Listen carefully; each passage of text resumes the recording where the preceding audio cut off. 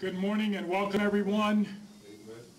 We are studying the book of Romans. Uh, as I mentioned earlier, I intended to just do chapter 3, but then as I read over it and over it uh, throughout a week of time, I thought we better start at chapter 1 and just go through. And so we, last week, we went through Romans 1, 1 through 17 where Paul said to all the saints, and we studied that the word saint is the first word of Holy Spirit. Saint is the same Greek word as holy and Holy Spirit. It means set apart. We are set apart for the Lord. We belong to him, and we are holy because of who's in us. I am holy because the Holy One is in me. I am righteous because the righteous One is in me. I am dead, and my life is hid with Christ in God. Buried with Christ, in baptism raised by the faith of the operation of God. It is no longer I who live, but Christ who lives in me. The same with you. If you are a saint and if you have received Christ, you are a saint. And he goes on to establish that the grace of God, that salvation by faith is for Jew and for Gentile. Now, Paul is going to continue like, a, like an attorney. He's going to corner everybody. He starts at Romans 1, and he is going to show that salvation is not just for Jew, but for Jew, Gentile, for the entire world. God so loved the world that he gave his only begotten son. I want you to keep that in mind. When we start at verse 18, it's going to seem, and people will try to say, God is a wrathful God. He is mean. He hates this kind of person. He hates. He doesn't hate anybody. He loves everybody. He loves the prostitute. He loves the adulterer. He loves the homosexual. He loves the drug addict. He loves the alcoholic. And he reaches out. But when people constantly are haters of God, I don't want you, I hate you, God steps back, as you see her turn over. He'll step back again and turn over. Now, watch what happens in this case. Because today, after talking about all of us who are saints, he's going to go on to show what happens in a world where people absolutely hate God, they reject God, and they are the perpetrators of this enmity, not God. And so we'll look in that today. But let's bow our heads and pray before we actually go into the Word of God. Heavenly Father, we come in Jesus' name. We thank and praise you so much for who you are. We are all enemies of God and all subject to wrath because of our enmity against you. We have all sinned and come short of the glory of God. There is none righteous, no, not one. There is none that seeketh after God. There is none that doeth right, no, not one. And yet, in a lost world, when one had to give a life and none of us had one, we were all spiritually dead. You were the only one who had a life but a man had to die. So you stepped down and became a man and took all the sins of the world from Adam to the last person on earth and took them completely away at the cross of Calvary. So there's nothing between man and God. So no one can say I'm separated by my sins. The barrier has been removed and you said, let me come live in you. And when I come live in you, you've already passed from death to life. But the world as a whole has said, no, we choose not to believe in you. We choose to hate you. We choose to reject you. Open up our eyes as we look into the word today, Lord. And if any have rejected you, may they come to the place to confess that they are a sinner, that they are lost, that they are spiritually dead, and that they need a Savior it's that easy. Believe on him whom the Father has sent, and you shall have eternal life. Lord, open up our minds and open up our hearts to receive the word today. In Jesus' name, amen.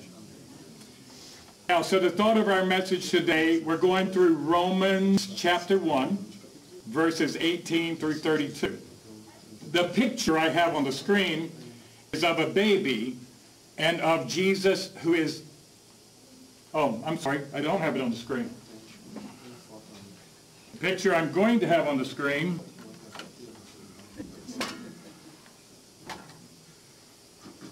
I wonder why nobody was appreciating the picture. There you go. the picture is of a baby and of Jesus who is the light of the world.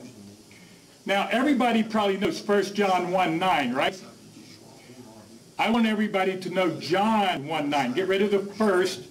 John 1, 9 says that Jesus is the light who lights every person who enters the world. Keep that in mind. See the baby looking up at Jesus the light? Every human who enters this world receives light from Jesus. Everybody has light. So remember that when people plead ignorance. And Paul is going to establish this case. So, as I said, I have a lot of commentaries. I have Donald Grey Barnhouse taught at 10th Presbyterian in Philadelphia, world famous. He has four books on the book of Romans. He taught it for like 38 years. Wonderful series, very deep. I have James Montgomery Boice and others, but this is Michael Pearl, and I'm going to quote at times. I'm not going to seek saying Michael Pearl said this. I have mixtures and paraphrases of his but also what the Lord has shown me. I'm just saying that so nobody says that you're plagiarizing. I'm not plagiarizing. I'm letting you know that some of the words will be his. But commentaries can be very helpful because we all add, God gives everybody light. So we receive light from others just as the body of Christ, and then God gives us light also. But let's start at verse 18. It seems like a little bit of a twist after ending with, for the just shall live by faith, is what we ended with last week. Now, that's a, a quote from Habakkuk 2.4, and it's quoted three times in the New Testament. Romans, the just shall live by faith. Galatians, the just shall live by faith. Hebrews, the just shall live by faith. With emphasis on a different word in each, but I'm not going into that right now for time's sake. But here's what Paul is turning to now. After saying this salvation is for everybody, he goes on to say, For the wrath of God is revealed from heaven against all ungodliness and unrighteousness of men who hold the truth in unrighteousness. The word, the Greek word for hold is used 19 times in the New Testament, and it is always in the sense of possessing or holding. The NIV is the only version who takes it this one time. 18 times it translates it the same, and this one instance it says to to uh, re, to suppress or to hold back. That's not what it means. They're changing the meaning of, all how it's used the other 18 times. It means you actually have you actually hold a knowledge of the truth. And we know that because, as we showed in John 9, 1, uh, 1 9, Jesus lightens everyone who comes into the world. So we all have a knowledge of truth. Now, let's go on and, and look into this. So people hold the truth in unrighteousness, and we are responsible for the truth because all men know the truth. There are no excuses. And so the wrath of God is revealed from heaven against whom? Those who know it and reject it. Now suppose a person is a baby and he doesn't really have understanding yet. Is he responsible? No. Suppose a person is mentally challenged and doesn't have the faculties to understand the truth of God. Would God hold them accountable? I'm not saying they're saved. I'm saying that the wrath of God is against people knowing that he exists and deliberately choosing to reject him. And that's what he's going to establish here. So Paul continues his argument that he started in verse 16. If the wrath of God comes upon all without distinction, Jew and Gentile, then salvation is to all by grace through faith. Because Paul's talking to Jews and Gentiles in Rome.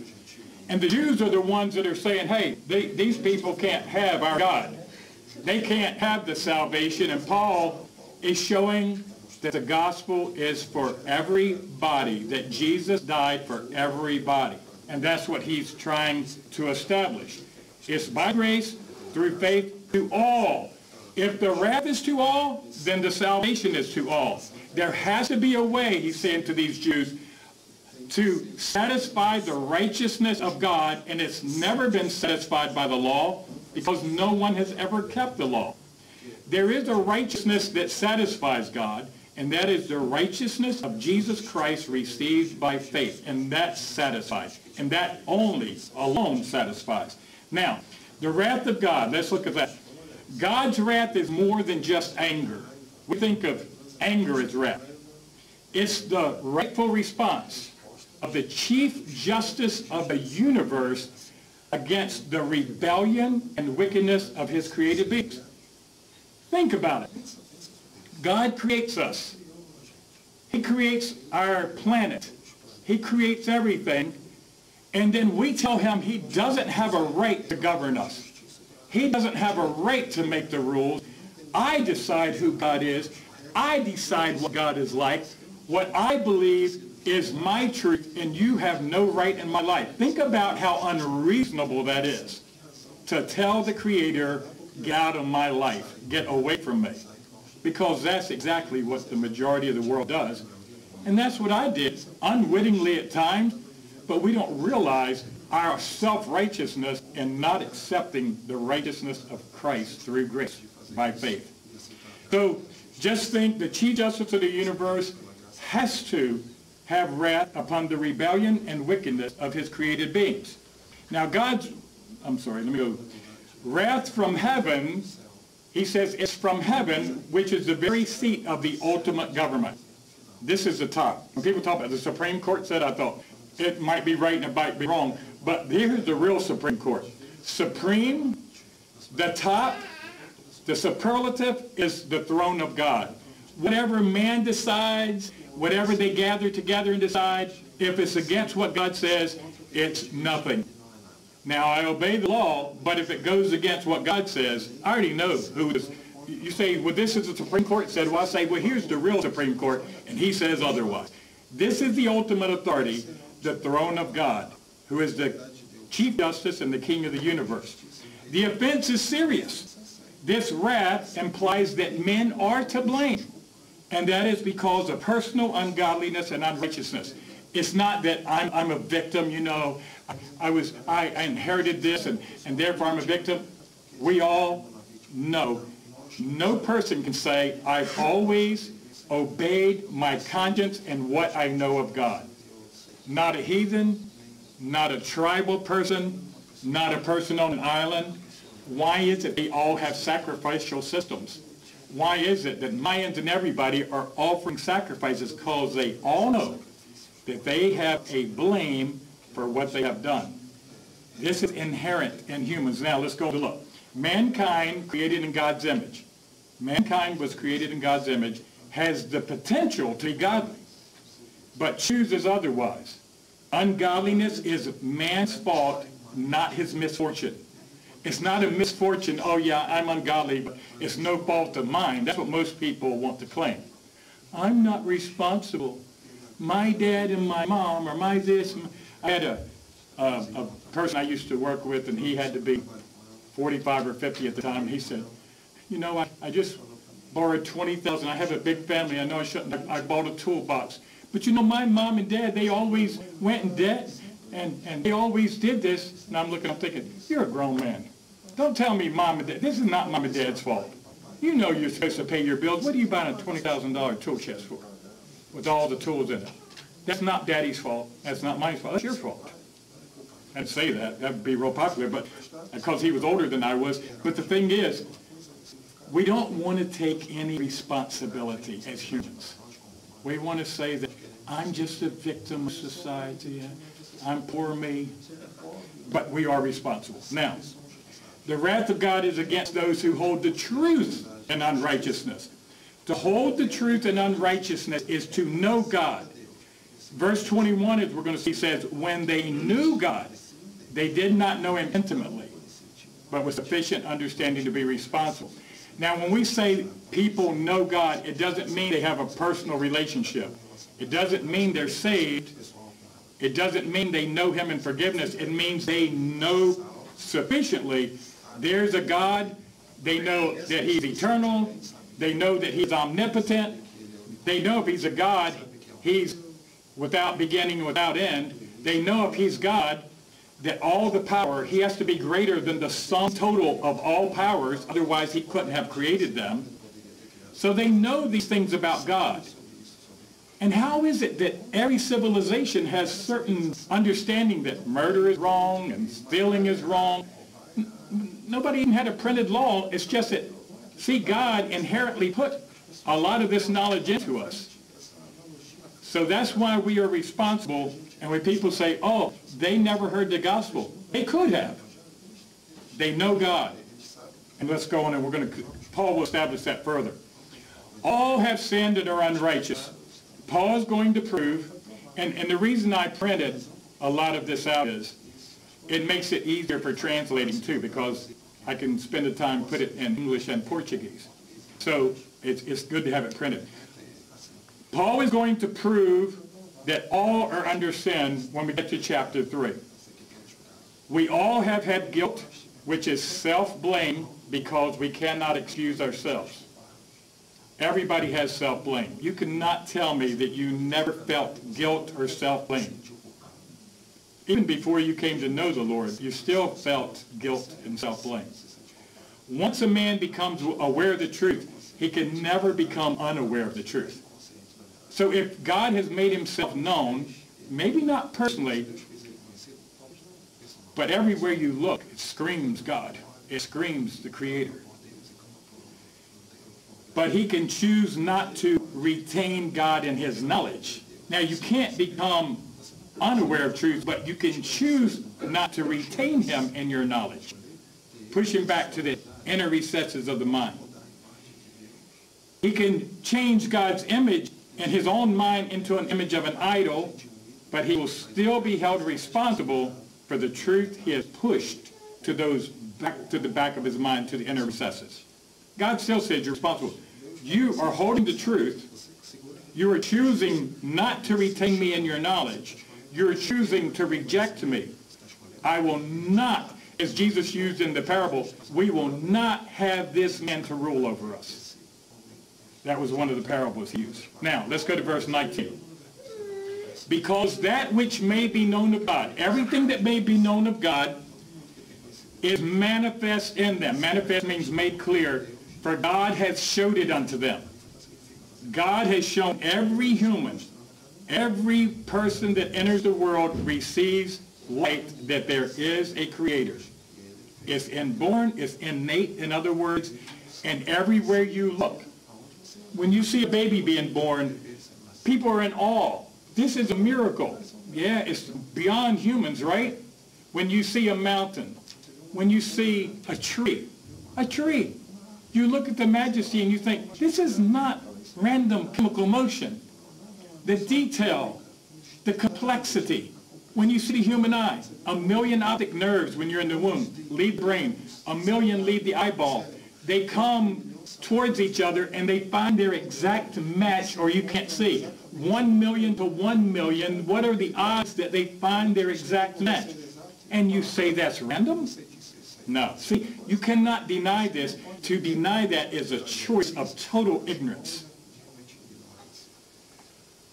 The wrath of God is revealed against those who hold the truth and unrighteousness because that which may be known of God will vary from person to person.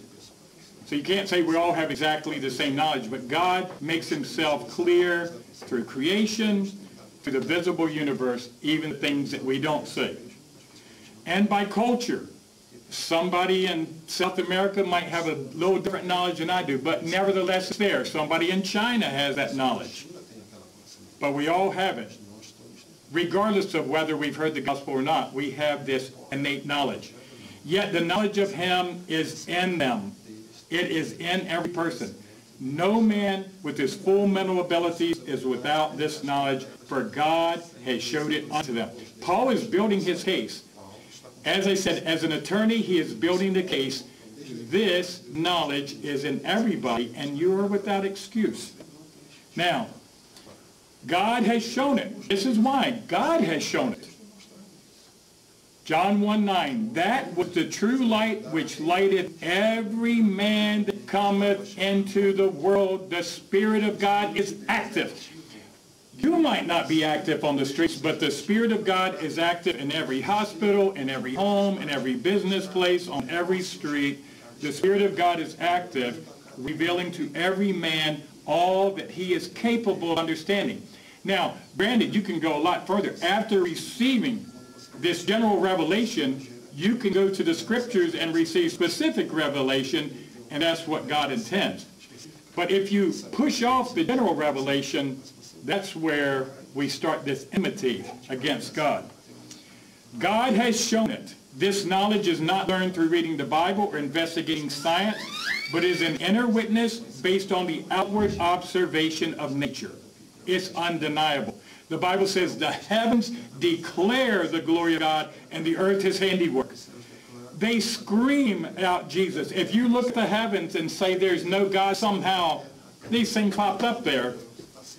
That's a huge problem. That's a choice. That is not ignorance. That is a choice. If I told you that this Apple Watch, if you said, where did that come from?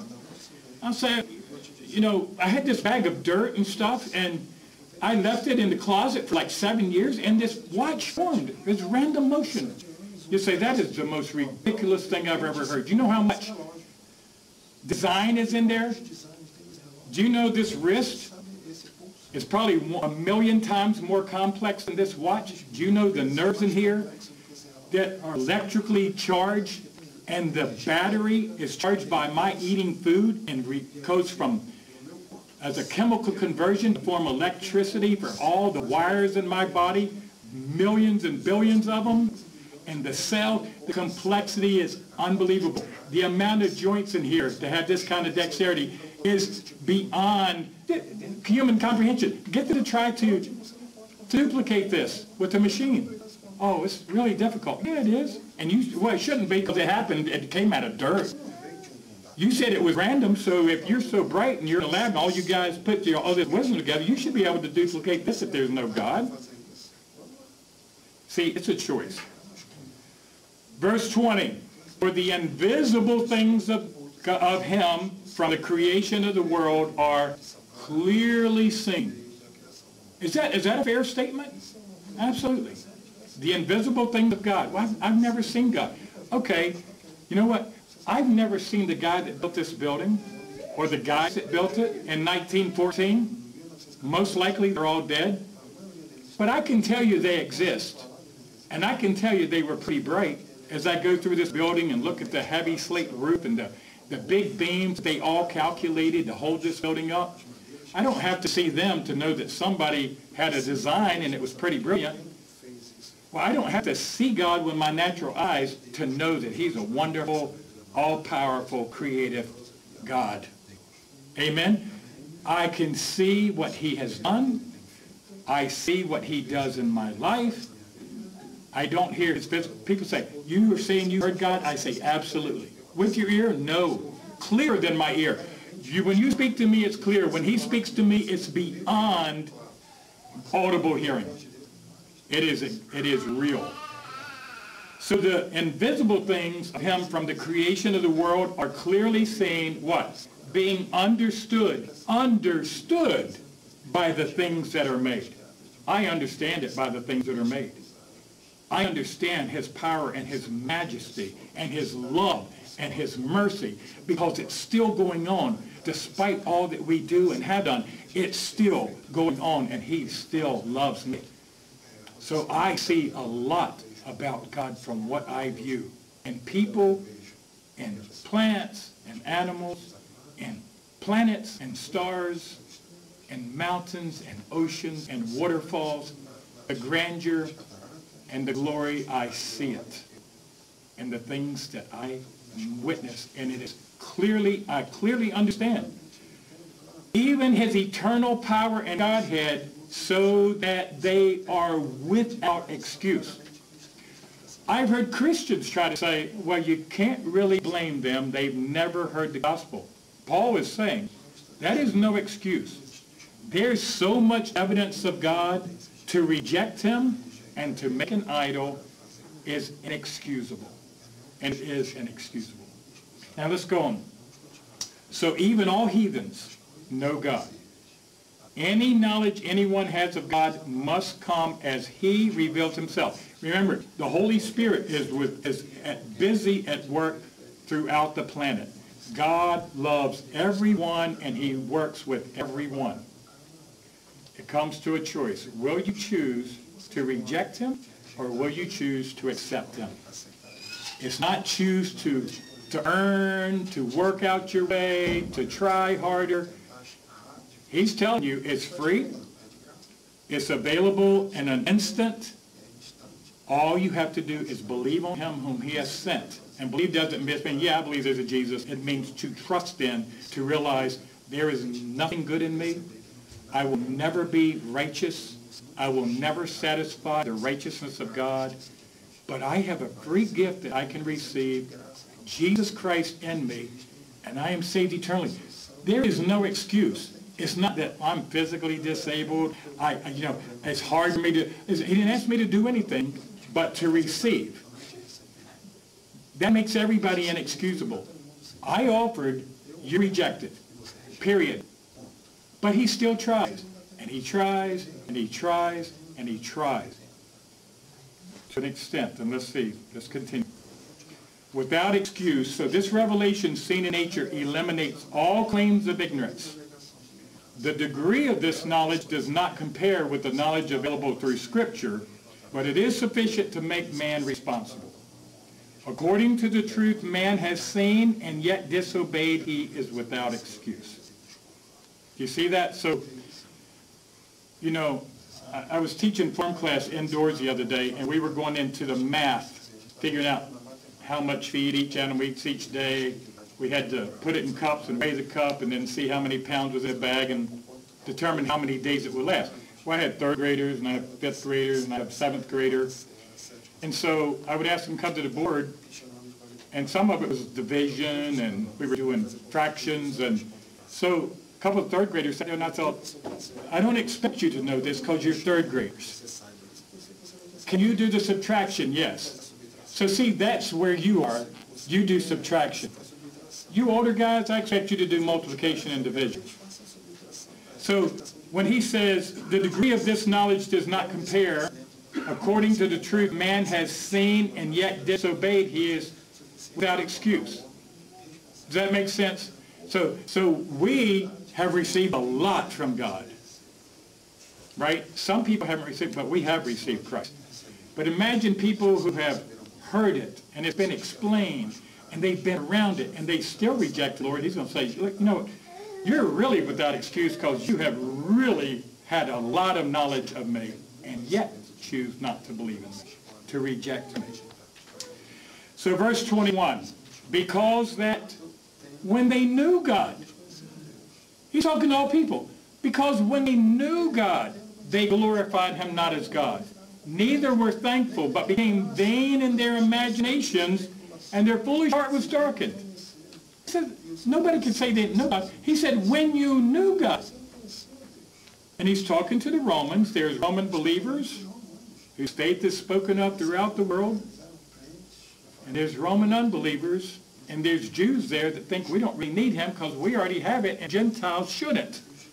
So they're actually rejecting God. So he's saying, you knew him but you don't glorify him as God. Oh, we do religious things. That's not, you're not glorifying him as God. You're not thankful. You're vain in your imagination. Now, God has given us imaginations, and it's, it's actually uh, as our Father, as our Creator, in other words, before he becomes our Father, he's given us creative power, and we can look at some of the things people design. They design cars and buildings and gardens, and, and they can imagine a lot of things. Like I, I, put a pond in my backyard, and I would stand there sometimes. I would just be standing out there for hours, and people think, what are you standing at? Because in my mind, I've got something over here and something here, and I'm creating in my mind, and then you take that creation and you put it into effect, and you start. Well, God has given us that. But when we imagine things that are impossible and things that are ludicrous and ridiculous and wrong, that's a vain imagination. Because sometimes our imaginations go really into things where they shouldn't be, and those are vain imaginations. And he's saying, when you knew God, you didn't glorify him as God. You weren't thankful, but became vain in your imaginations, imagining things not the way God has them, but the way you want the world to be, the way you want the moral law to be. And he says, your foolish heart is darkened because of that.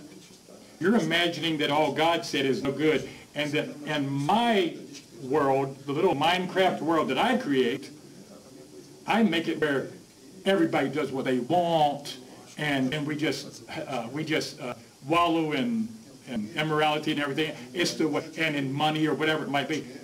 We imagine things that are vain when we don't know the Lord. And we reject him because his plan, although he's governor, king of the universe, that's not the way I want the world. So, man unavoidably knows God. I, I keep repeating that because it's the truth. Unavoidably, every man knows God to an extent. It's not to know him in forgiveness, it's not to know him intimately, but simply to know his attributes and his glory and his righteousness. They responded by choosing to disregard the truth that's clearly seen. They glorified him not as God. Chose. This is a choice. This is a choice. I choose not to give you glory. I choose to disregard the truth that I've come to know. There is no God. And I don't want to hear the name Jesus mentioned in my place of employment because it offends me. I don't want to hear Jesus mentioned in the marketplace or in my country or in the school. This is what they say because, why? Because I've tried to block him out and you keep bringing it back up. And now it's grating on me. In fact, the very way you live grating on me again. And I want all that taken away, and we'll get to that. Now, so the first sin listed is not immorality, adultery, homosexuality, or anything. First sin listed, and as I said, God loves everybody. So don't say God is a hater. People try to make it appear God is a hater because he don't like this group of people. No, he's not. The group of people often are rejecting God, not God rejecting them. The first sin listed is failure to glorify God. Paul says that's the first sin. It's the greatest of sins because it's the beginning of rebellion against the Lord's authority. When you refuse to glorify him, you are rebelling against him and against his authority. And that is the, that is the door to other sins. That's the door to go to other sins, that rebellion. Now, man is naturally endowed with an inclination to glory and to glorious. So suppose a man for the first time walks up to Niagara Falls and he's like, and, and you worship. It's, when I say worship, it's, it's like you're in awe and you see the grandeur and you're like, now I would definitely be worshiping because it'd be like, God did this. Really, seriously, it's like, I feel so small. Uh, uh, we were up in uh, Watkins Glen uh, when our kids were little uh, camping, and there was waterfalls everywhere. And we went to Taughannock Falls, which is higher than Niagara, 400 and some feet. And we just stood there like, this is, I'll use the term right, awesome. This is glorious. And you stand there and you say, I feel so small. I feel so, I feel like this is God's work, right? But if you turn your back and, and, and show no appreciation, it would show that you came with a preconceived attitude to reject what others found glorious. And this is what they're doing. As I see this, you just glorify God because I say there has to be a God. Or you can say, no, I, I, I don't want that. I, I, want to, I want to forget that. I want to reject that because of all that's attached to that. I, I don't want to be sub subject to God. I want to reject that. So no, I will not look at the glory. This came from evolution. This was uh, bunch of dirt was swinging around. It made a waterfall and all. It just, it just happened. There was some kind of meteor or ice age or something. It had to be something. It doesn't make sense, but I choose to believe it anyway. Like evolution goes contrary to all the laws of science. The second law of thermodynamics, the law of entropy, is the most provable of all the laws of science. That's what Newton said. It says that everything goes from order to disorder. And evolution goes from disorder to order. From disorder to order, that's exactly backwards. against science. You're saying it's science. It's against science. And, and I had people tell me, you guys still believe in God? Carbon dating shows that so many million years old. And I say, well, honey, I'm, I'm sorry you don't know science then, because carbon dating is only good for about 7 to 14,000 years. At max 50,000, if something's been underwater, it blows carbon dating out of, the, out of the water because now you can't even date it because it's been underwater. So what is that proof? Well, the layers. How do you know how old this layer is near Because of the fossils in it. Well, how do you know how old the fossils are? Because what layer they're in. It's circular reasoning. This layer of Earth is 50 million years old. How do you know? Because the fossils in it. How do you know they're 50 million years old? Because they're in the layer where there's 50 million years. There's no proof. That chair is blue. Why? Because it's a chair. That, you know, it's because I said so. That's just ignorant choosing. There is no evidence because it's not true. And they know it. It's a deliberate fraud to pass off on children in schools because they hate the Lord. They hate God and want to reject him and serve Lucifer. Now, let's go on. Paul lists unthankfulness as the second sin deserving God's wrath. A man that sees the work the creator of the Creator and understands that his very breath is a gift of God. My very breath is a gift of God. Yet neglects to be thankful is proud and self-willed. You mean you won't thank him for all that he's done? You won't give glory to the one who is glorious? You won't say thank you for all that you created and for giving me life? You won't. That's your second act of rebellion. You refuse to give him glory and you won't thank him. He may argue that he has received a raw deal in life. Well, I was born in a bad neighborhood and my mom died when I was five and, and then we were poor and also I hate God. Well, that, that only confirms your unthankfulness is without excuse. He has always been good to you. Everybody has had some raw deals. People say, oh, this is the cards I was dealt. It's not cards you were dealt. We live in a fallen world and some bad things happen. And people, some people have had a really bad childhood and some bad experiences. That is not God's fault. It amazes me that people say who, there is no God will blame him, and yet the one who's really responsible, the thief comes not but for to steal, to kill, and destroy. He gets all scot-free. Nobody ever says, oh, the devil made my mom sick. The devil took my mom. It's always God did it. God did not. You want to see the thief, the robber? He's the one who did it. God has always loved you. It amazes me how the devil, people people say they don't believe God or devil. The devil gets solved and they always blame God. Wait, how do you blame him? You don't believe in him. You just said he doesn't exist and now you said it's his fault. I don't think you even know what you believe. So they only confirm their unthankfulness is without excuse. Now, vain in their imagination. God has given us the power to imagine, as I said, and we can invent some remarkable things. But we, when we imagine the impossible, it's called a vain imagination.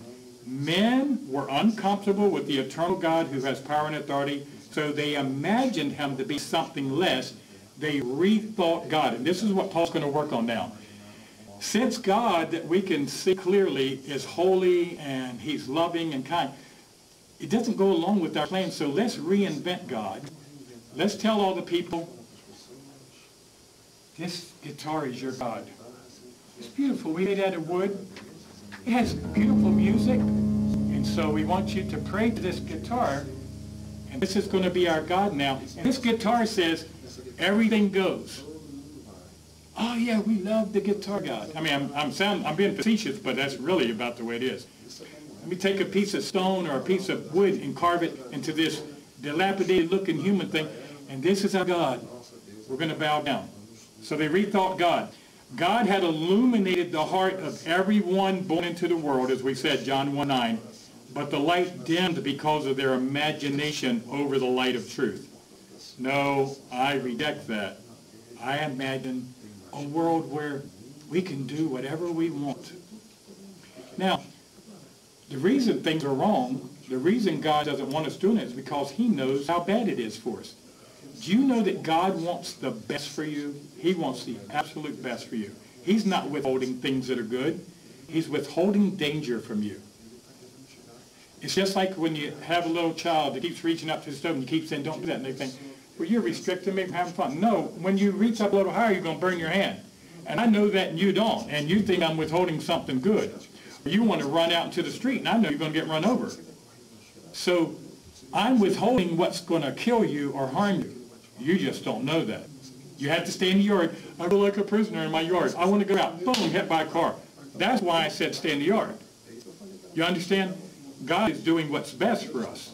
And he knows and we're just, sorry, too stupid to know it.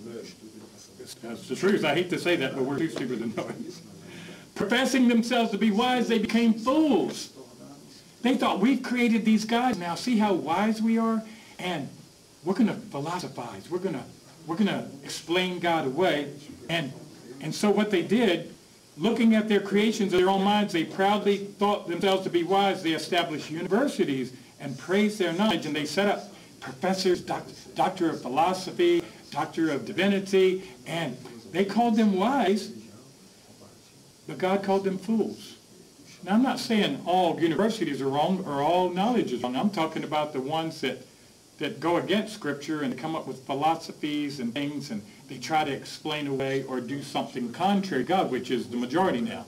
Although most of our universities were established for the purpose of teaching the Bible.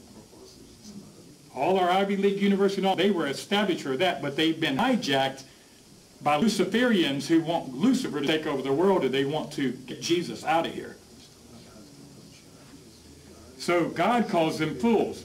And they change the glory of the uncorruptible God into an image made like corruptible man and birds and four-footed beasts and creeping things. You see like Medusa with all these snakes coming out and all. The snakes are your God? You know why? Because here's what it is. They changed, if you change something, it means that you had an understanding because you couldn't change it. You wouldn't say you changed it if you never knew it, right? So if I'm going to change something, it's because it was something else. So they changed, meaning that they understood the glory of God, but consciously rejected the truth. They made God to be in the image of a man and bowing to human statues. Then they got tired of that, so they did images of birds and then beasts and then creeping things. They were not misguided victims of their time. They were making God into an image compatible with their lust. Because Medusa, and as we're going to see, almost all these ancient religions included sexual immorality at the temple. They had temple prostitutes, and you came there, and to invoke your God, you had sexual intercourse, illicit sexual intercourse, to make the God happy with you. This is a God they created to fulfill their lust. When men distort the image of God, they lose the only reference by which to identify themselves. Now listen to this. If you change who God is into this, he's the only reference point. You have to have a reference point in everything. Do you, you understand that? Like if you're going to measure something, you have to have a reference point. We're going to measure from this point. You can't just reach in the air randomly say, what's the point of the measurement? You have no starting. Where's your reference? If I'm going to drive somewhere, I type in the address. It says, well, where are you now? I'll tell you how many miles. I'm not going to tell you where I am, but tell me how long it's going to be. There's no reference point. How can I tell you how long it's going to get there when I don't know where you are? You understand? Where's the reference point? So when you change God, you have no reference point for identity. If we glorify God as God, then we can know man as man. But since we pushed him out, people don't have a reference point now. They don't know man as man. I identify as a jellyfish. Can you show me where the jellyfish bathroom is? I, I identify as a girl. I identify I, I identify as a dog. I mean, I'm, it sounds like I'm being facetious. They're saying now there's like 72 genders. Are you serious? There's no reference point. I identify as a tree. And you think, these people for real? Like, I think the mental institution, I think they all got free and like I don't know what's going on, but people are lost their minds. Seriously, they come and say, I don't know if I'm a boy or a girl. I say, the doctor's in there. Go in there and he'll do a quick look. He'll tell you right away you're a boy or girl. It's a real fast examination. You probably have seen it.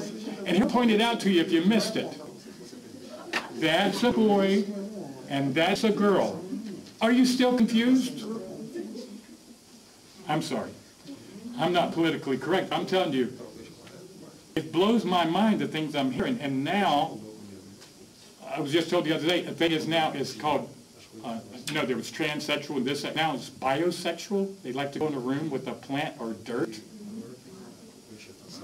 to mate with the dirt. I thought, see, see how, see when you refuse God, how you just go down into such stupidity. I mean, mind-boggling stupidity. I think you did lose your reference point. You don't even have any reference point.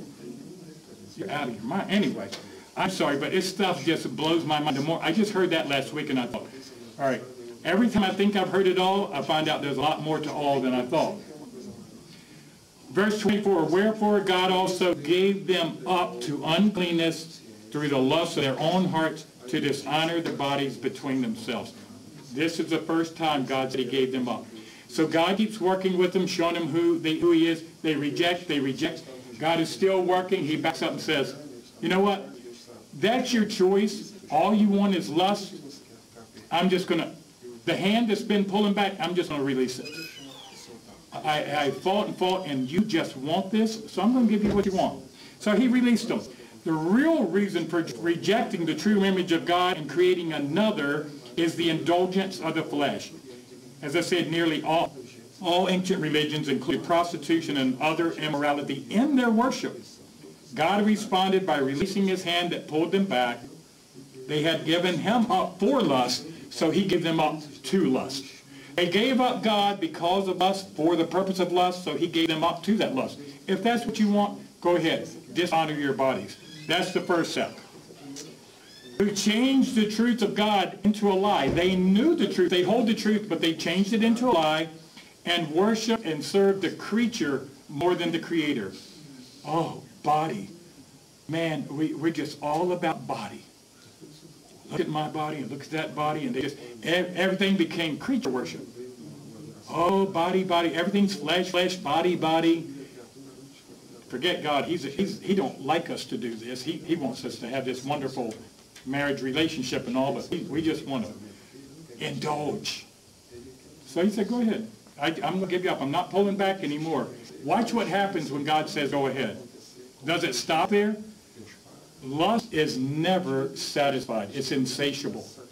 In May of 1965, the Rolling Stones wrote a song, and you might remember, I do because I was seven years old at the time. I can't get no satisfaction. And the reason they wrote it was two things. This is according to articles. Their sexual frustration and commercialism. They were frustrated because they were having illicit sex without limits, and they said, I'm never satisfied. You know why? Because lust never satisfies. The end of lust is lust, more lust. It's insatiable, and it increases. We're going to see that. Now, they had to understand the truth of God in order to change it. Their bodies were the object of their devotion. Some attempted to worship God while including the flesh. Oh, I still know there's God, but I'm going to do the fleshly thing. But the result was that they worshiped and served each other's bodies more than the Creator. Just more flesh, more sin. For this cause, God gave them up to vile affections. First, he said, go ahead. You fought me and fought me on this. I'm pulling back my hand. Go ahead with your lust. Now, he said, he finds out they've been trying this thing it's not satisfying, so now they're going to switch it up a little. They're going to try something different because I've already been lying with everything I saw, and so I'm going to switch it up a little and try something a little bit different than what we've been doing and go for same sex. For this cause God gave them up unto vile affections, for even their women did change the natural use into that which is against nature. It's against nature. God has put in us just like he put positive and negative attract in the magnetic field, he put this in us. It is not natural when we don't do that. It's not that I inherited this from Adam. No. Although we inherited, yes, we, we inherited a sin nature with fallen world. God still has put natural desires into us. And so, and often we think, oh, that's men, but women? He's starting off with women. Yeah, this was women doing this. Even their women, they change the natural use into that which is against nature. It's not nature, it's against nature. God shines a light on everyone who comes into the world. They change the truth of his nature into a compatible image around which they practice immorality. He honored their choices and gave up to uncleanness, step one. Their uncleanness drew them further into lust until they worshiped their very bodies, so God gave them up to vile affection. That's the step, second step. He backs up, he strives, he strives. All right, it's just going further and further. All right, I'll give you up to it, and they're going to, they're going to go even further. And I mean, it, gets, it can get really far and go beyond this, as you probably know. People get really... They had no affection for lovely things. They loved the obscene and the vile. They pulled away, so he gave them up to their choice. Just because something feels like love doesn't mean it's holy. Affections can be vile. God designed a natural use for females and their male counterparts just like positive and negative. This is not to destroy anybody. Oh, you're a hater. Oh, get him off Facebook. He's preaching hate. I'm not preaching hate. This is the word of God. It's no hate. It's love. God is still saying, I will receive you, even though you've gone to this. I would love to come into your life. I love you. I don't like what you're doing, but I love you. I'm still trying. I'm not rejecting you. You're rejecting me. I'm not the hater. You're the hater. You hate God. Sorry. See, people always try to make God the perpetrator and they're the victim. It's the opposite. God's the victim and they're the perpetrator. God's not hunting people down. Oh, you're gay. Uh, you should die. He does not. He loves the people. He loves them and wants them to be, receive him. And it's not just gay. It's all, all. The word fornication can encompass adultery, uh, homosexuality, bestiality, encompasses a, a wide variety of immorality. So, and likewise also the men, leaving natural use of the woman, burned in their lust one toward another, men with men working that which is unseemly, seemly, and receiving in themselves that recompense of their error which was meet, or which was fitting.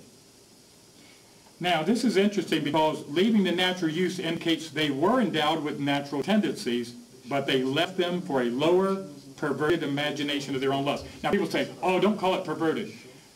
Perverted just means it's not what it was intended to be. You know, if, if I take my car and, and, know, and, and, and I use it to run over people, that's a perversion of its purpose. So don't take offense at the word. Pervert means just you're doing it for, you're using it for a purpose it wasn't intended for, that's all. It's not calling people names. Thrills can be created where none exist by throwing off the natural and exchange those perverted. All human appetites can be conditioned to enjoy what is otherwise naturally repugnant. You can condition yourself to it. The source of their drives was self-induced lust, not natural tendencies. There's no satisfaction for sinful lust. Lust is the end of lust.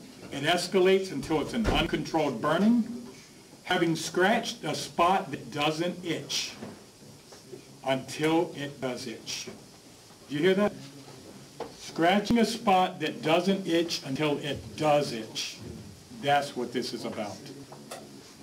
One can then offer what seems an acceptable excuse for further scratching, but they can and should break the addiction. Now this is what it's saying. Do you understand what it means to scratch a spot that doesn't itch until it does itch? To feed it, to fuel it until you create a desire? And then you say, it's not my fault that I drink, I'm an alcoholic.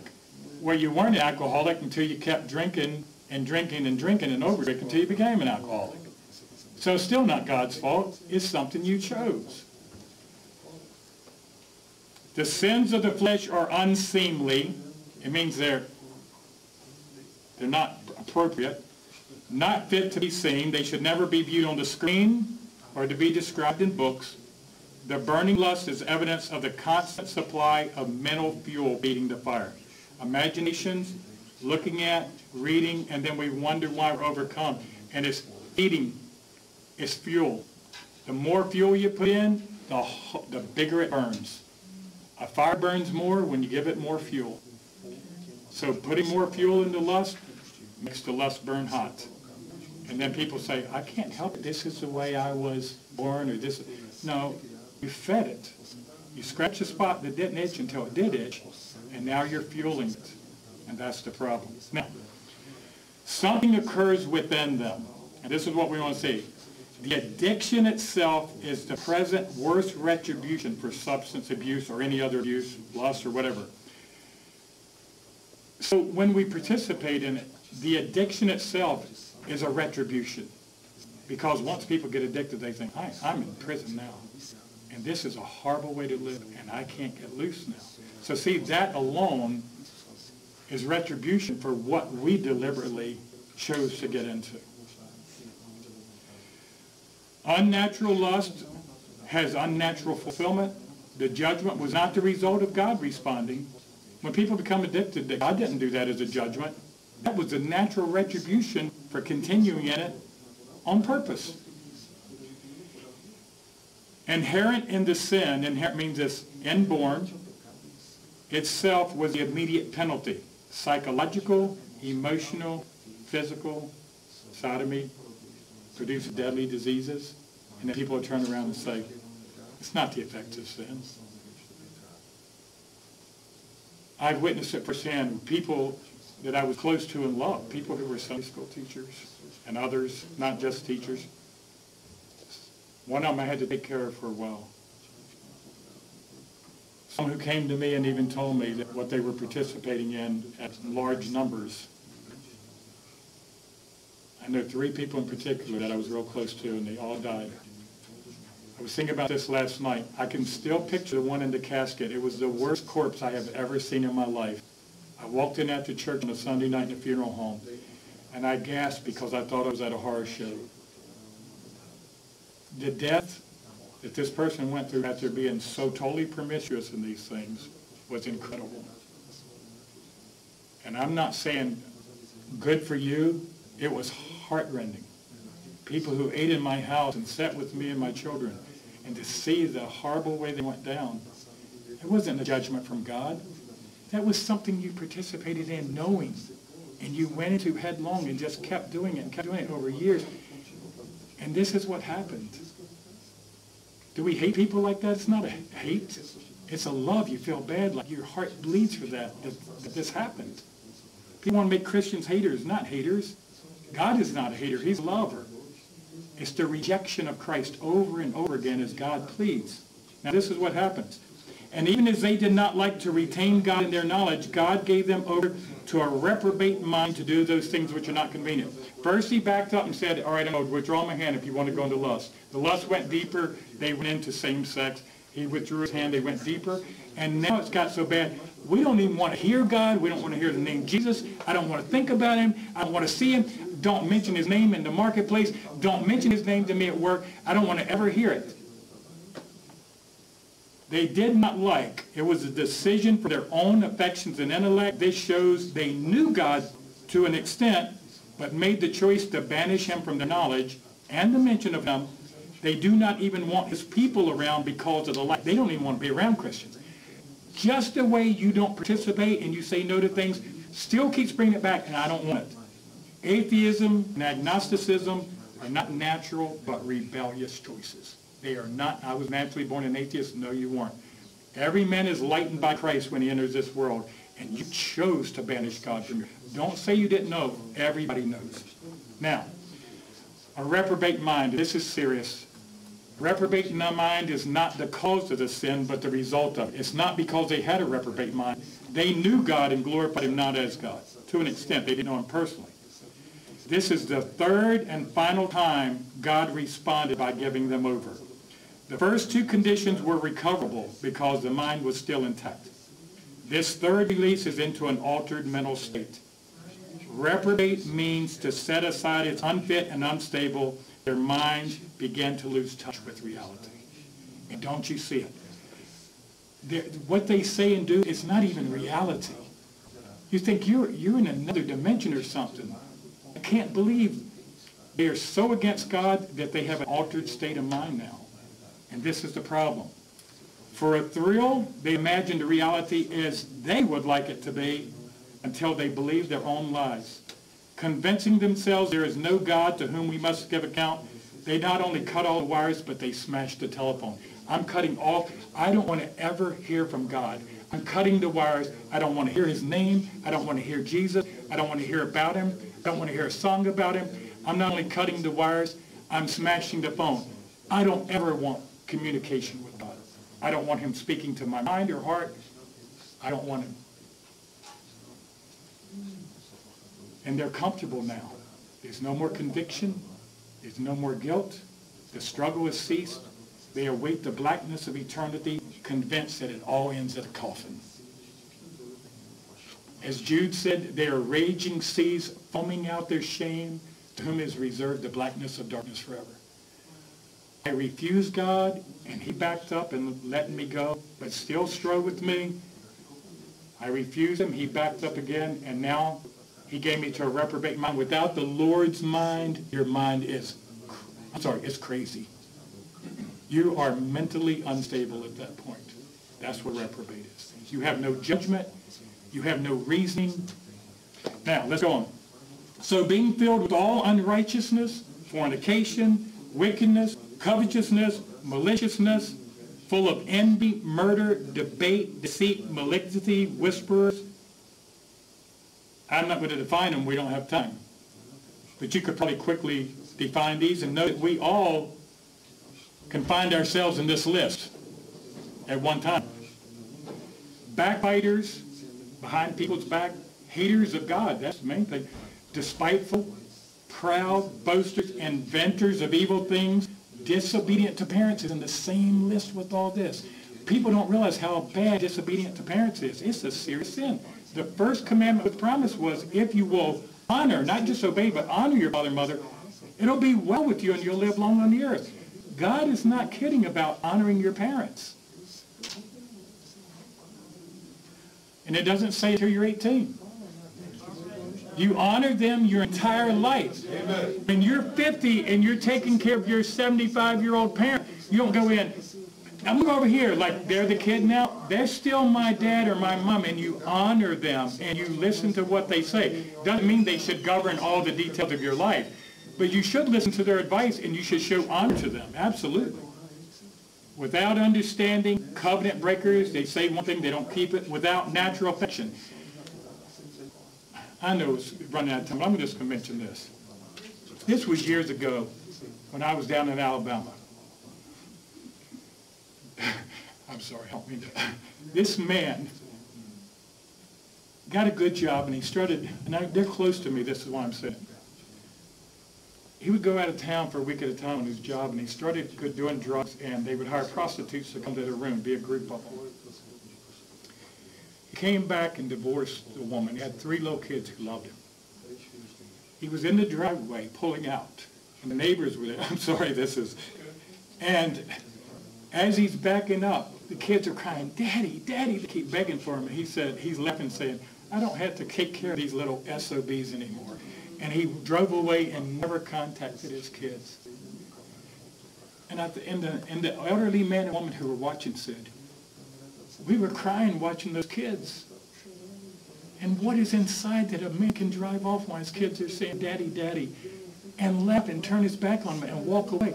There's something wrong. You got into the drugs and prostitution and you're totally warped now. You don't even have natural affection. Your own children are crying for you and you walk off like that. How can that be? People sink to this and they don't even have natural love or affection or anything. They're warped. Un implacable means they can't be placated. No matter how much you try to solve the problem, they can't be placated. They're just always uh, creating a turmoil. Unmerciful. There's no mercy in them. Who, knowing the judgment of God, that they which commit such things are worthy of death, they don't only do them, but they have pleasure in them that do them. This is the people I hang with. I like to be, and, and I like to watch it. I like to vicariously watch people murder people because this is what I like, and watch people hurt people and rape people and all. That's what I like to watch because that's what I enjoy. And, and the TV's full of it. And we, we enjoy watching somebody be killed or raped or raped. It's like, what's wrong? Something's wrong. They're unmerciful. No natural affection. This is a result of refusing and rejecting Jesus Christ. We are not a victim. We have chosen the rejection. So may God help us. You know, as I said, Romans 1, people take offense at it. It's not offensive. God loves everybody. He's not hunting people down to say, I hate this group of people. He loves every group of people. It's the people rejecting him. Let's all bow our heads in prayer.